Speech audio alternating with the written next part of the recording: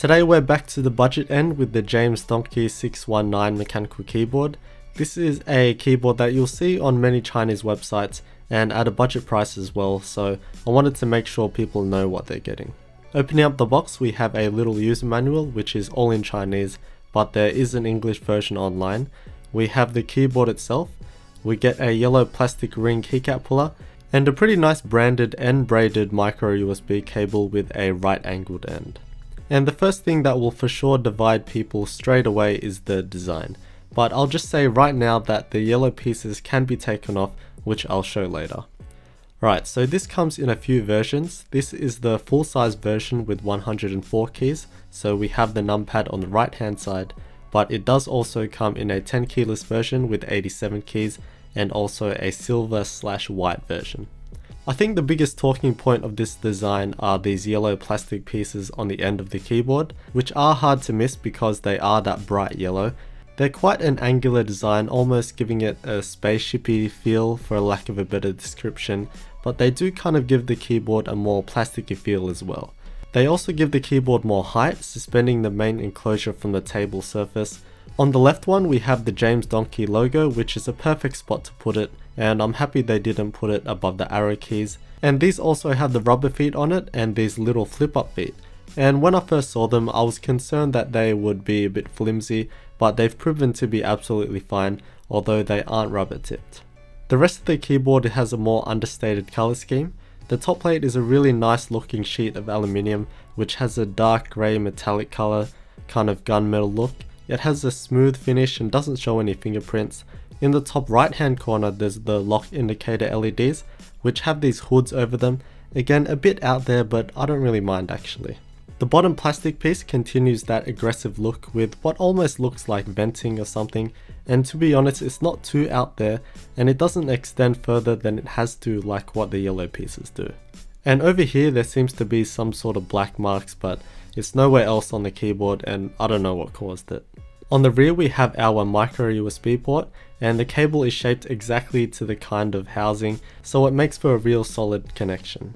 Although being right angled the cable goes towards your mouse which some may not like including myself. As expected from a budget mechanical keyboard with this typical aluminium plus plastic enclosure, it is a pretty lightweight keyboard but given its shape with all its indents and angles, it's very rigid and shows minimal flex. The keycaps are double shot ABS keycaps, meaning that the legends are this yellow plastic, so it will never fade away, and they're pretty thin at about 1mm thick.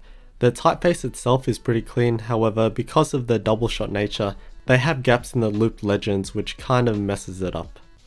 And they went all out with the yellow, with the legends being that translucent yellow, but also the LEDs being quite a warm yellow or amber looking colour.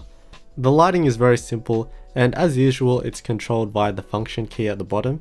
We can turn the lights on and off with function and page down, and the brightness and the speed of the effect can be controlled with the arrow keys. So they've kept it very simple with a singular colour and the modes, which is honestly enough for most people, but you are stuck with the yellow which some may not like.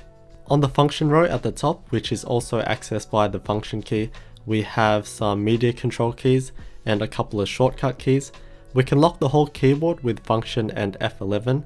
We can lock the Windows key with function and Windows. And finally, we can allow the WASD keys to be arrow keys with function and W. One of the really cool things about this keyboard is that it actually comes with Gateron key switches, and for those who don't know, Gateron key switches are clones of the Cherry MX switches, but are often regarded as better because of their smoothness, especially with the linear key switches. I have the Gateron brown switches here, so these mimic the Cherry MX browns being a light tactile switch, so there's a bump halfway but no audible click, but this does of course come in the other Gateron switches as well.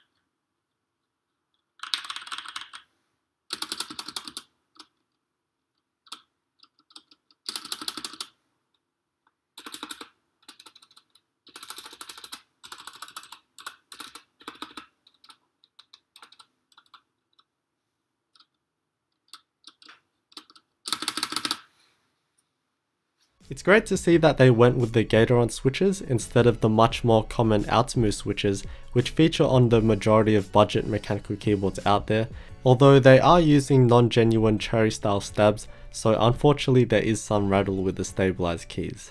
Taking the keyboard apart is simple although you will need a hex screwdriver or the right sized Allen key.